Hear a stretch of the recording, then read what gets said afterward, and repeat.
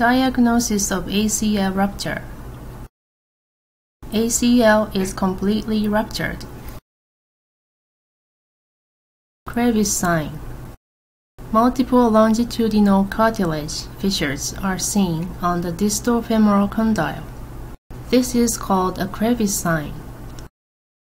Intercondylar notch view before outside-in pie crusting technique. An intercondylar notch view is obtained between the PCL and the medial femoral condyle.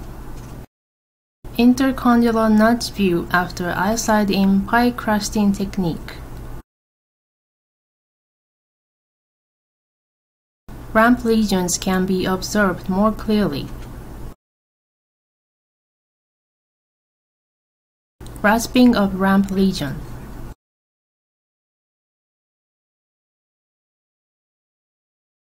First suturing of ramp lesion. Suture the meniscus and posterior capsule using an all-inside meniscus repair device.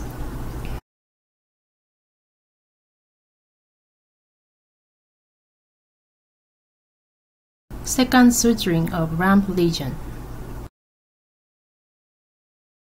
Similarly, suture the another site.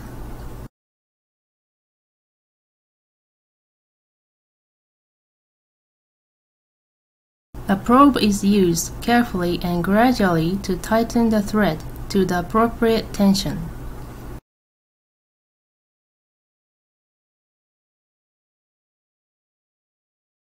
Anatomical double bundle ACL reconstruction.